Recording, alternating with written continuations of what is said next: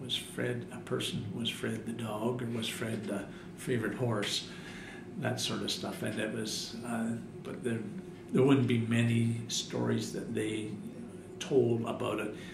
And my great grandfather, who was the clerk in that, he seemed to be, he wouldn't express many opinions. I think maybe because of his position was, he, he wanted to be neutral because he was uh, sort of the clerk or the secretary for whoever was in power, the reeve or whoever, and the councillor. So I think that he probably stuck to a very neutral position or did not express it uh, very much.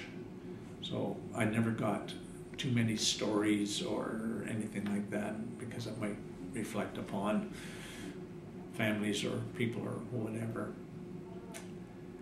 And uh, some of the stories that I sort of hear come out as things where it wasn't through them, it would be some other source, and they were very sort of protective of family privacy and stuff like that. So, not too much.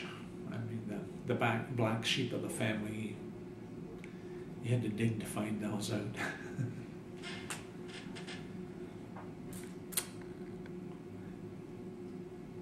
so I think that's about what I have. Okay. Okay. As I say, you let me know, or I can. Do you have a memory stick or anything? Not with you. No. Um, you have a computer, I would assume. Yes. Pretty much live on that. Yeah. Um,